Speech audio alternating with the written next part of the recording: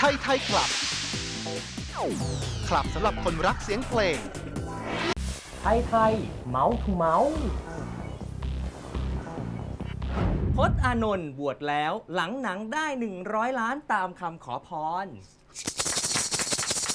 เป็นอีกหนึ่งเรื่องราวที่น่ายินดีมาก ๆ เลยนะคะสำหรับข่าวนี้ของเราเองเป็นเรื่องของผู้กำกับมือทองอย่างคุณพจน์อานนท์ซึ่งเขาบอกว่าถ้าเกิดว่าหนังเรื่องนี้เนี่ยทำรายได้ได้ถึงร้อยล้านเขาจะทำเรดาร์คืออะไร ทำรายได้อ๋อ ได้ยินเป็นเรดาร์ทำรายได้ทำรายได้ได้ถึง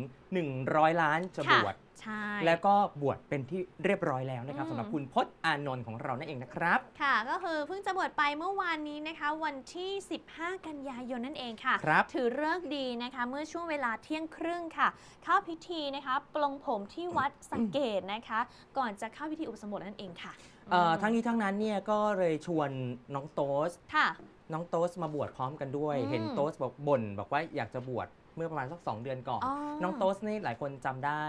ที่เคยเป็นข่าวว่าเอ่อเหมือนมีเอ่อทำแฟนร้ายสาวภรรทำร้ายร่างกายเลยออใช่ไหม ทำร้ายแฟนสาวอะไรอย่างเงี้ยนะฮะ อืมอืม เห็นบอกว่าโต๊สอยากบวชก็เลยโต๊สเองก็เลยเอ้ย ค่ะ บวชด้วยดีกว่านะฮะ อืม ประกอบกับเคยเอ่อมาถ่ายหนังหลวงพี่แจ๊ส 4G ที่วัดนี้ด้วยอ๋อนะฮะ โดยใช้นี่เป็นนี่โลคือเคน้องชั่นโต๊ดหลักใช่ไหมคะใช่ภาพนี้ เป็นโลเคชั่นหลักในเรื่องเลยนะครับ ค่ะซึ่งตอนถ่ายก็ไม่ได้บนนะ อืม แต่ขอพรว่าขอให้หนังเนี่ยประสบความสำเร็จ มีรายได้ร้อยล้าน พอเป็นไปได้ตามนั้นจึงตั้งใจที่จะบวชนะฮะ ซึ่งช่วงนี้นะฮะหนัง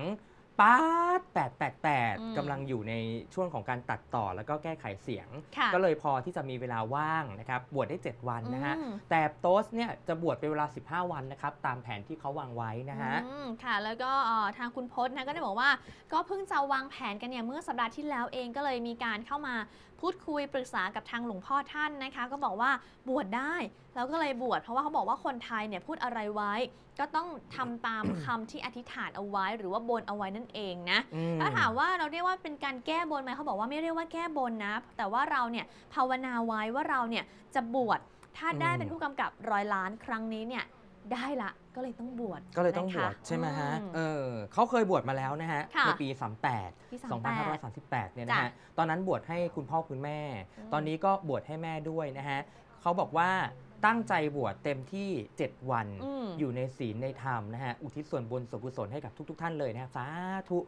อืมให้ได้บุญกันเยอะ ๆ เลยนะครับ แล้วก็ค่ะให้เป็นแฟนหลวงพี่แจ๊ส 4G ที่ไปดูหนังกันเนี่ยนะฮะ แบ่งบุญให้ด้วยอืม นะฮะ ก่อนผมบวชนะฮะ อันนี้คุณพจน์พูดนะฮะ ก็ได้ไปขอขมาผู้ใหญ่ ขอขมาแฟนอืมๆ หรือเวลาไปพูดข่าวอะไรถึงคนค่ะ อื่น ผมก็ขอขมาด้วย อ่า เพราะแค่วิเคราะห์ข่าวเฉยๆนะครับ ไม่ได้ด่าอืมสำหรับที่บอกว่าบวชแล้วเนี่ยจะเบียดเป็นการ ล้อเล่นเฉยพูดๆนะแซฮะวนี่พี่ขำๆเป็นเนาะการแซวกันเฉยๆอะค่ะไปดูบทสัมภาษณ์จากน้องโต๊สกันบ้างนะคะหรือว่าพระโต๊สเนี่ยครับค่ะ ตอนนี้นะฮะ อืม เอ่อน้องโต๊สบอกว่าผมวางแผนไว้ตั้งแต่ถ่าย หนังเรื่องปาร์ต888 นะฮะ พออืมหาจังหวะว่าง ก็เลยได้มาบวชทันทีสำหรับการบวชครั้งนี้ ก็ถือเป็นการบวชครั้งแรก และบวชให้พ่อให้แม่ด้วยนะฮะ ซึ่งท่านก็อยากให้บวชอยู่แล้วนะครับ เพราะเราไม่รู้ว่าจะมีวันนี้หรือวันพรุ่งนี้หรือไม่ ซึ่งหนุ่มโต๊สก็บอกว่าเอ่อ คุณเพชรเออขออภัย คุณโพสคุณโพสต์คุณเพชรค่ะมาจากคุณโพสต์ไหน คุณโพสต์ในการบวชจะจำวัดอยู่ที่วัดสระเกตที่เดียวอืมและก่อนบวชนะฮะน้องโต๊สก็ขอเข้ามาทุกท่านที่ขาดไม่ได้ก็คือขอเข้ามา พี่พศด้วยอืมนะคะเขาก็บอกว่าเอ่อกับคนที่เคยมีข่าวมาที่มันมีกระแสขึ้นมาเนี่ยก็อืม ขอเข้ามาแล้วเรียบร้อยเช่นเดียวกันนะก็ขอให้อโศอโหสิกรรมด้วยนะคะเขาบอกว่าตั้งใจจะเป็นคนใหม่ไม่ทำให้ทางด้านคุณพจน์อานนท์เนี่ยผิดหวังอีกหรือว่าไม่อยากจะมีเรื่องราวเสียหายเกิดขึ้นอีกแล้วนะคะใช่ครับ อืม หลังเข้าพิธีบวชนะครับ คุณพศเนี่ยได้ฉายาทางธรรมว่าอนันทอนันทโทนะครับ แปลว่าผู้ยินดีในธรรม ค่ะส่วนน้องโต๊สนะครับ ได้ฉายาทางธรรมว่า อัคคปัญญะปัญญโย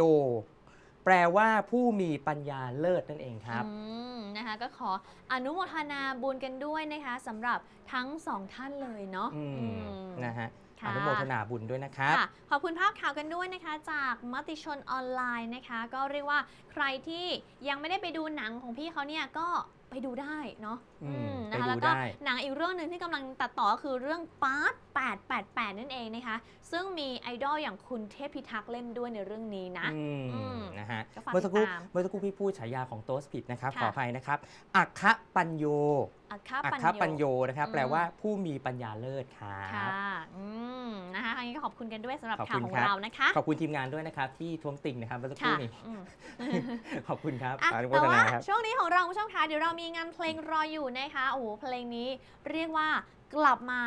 อีกครั้งหนึ่งสำหรับผู้ชายท่านนี้เลย คุณอาพรศักดิ์สองแสนนั่นเองนะ กับเพลงที่มีชื่อว่า รักแท้แพ้ทุนนิยมค่ะ ใช่ครับ เรายังอยู่กันที่ภาคอีสานนะครับ เพราะว่าหนุ่มคนนี้เป็นหนุ่มอีสานที่ร้องเพลงนี้ถ่ายทอดเพลงนี้ได้ดีมากเลยทีเดียวนะฮะ ไม่ได้เชียร์ค่ายตัวเองนะครับ ไม่เชีแต่ยร์มันะดีจริงๆคุณผู้ชมลองอืมฟังดู คิดทอดหลายอ้ายสิขาดใจจากหนุ่มต้นตะเวนครับผม ปิดท้ายกันด้วยนะคะ คุณคำสายฟูตนข้างถนนนะคะ กับเพลงเพลงนี้ผู้บ่าว ไทยบ้าน โอ้โหสามเพลงนะไม่เบานะสาช่มวงเพลเนี้ยงนะครับ เดี๋ยวอืมช่วงหน้ากลับมา VJ จัดให้รอกันอยู่นะครับกับเพลงที่เราเตรียมไว้ ช่วงนี้ไปฟังเพลงกันครับค่ะ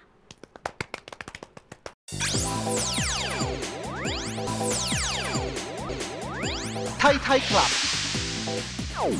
คลับสำหรับคนรักเสียงเพลง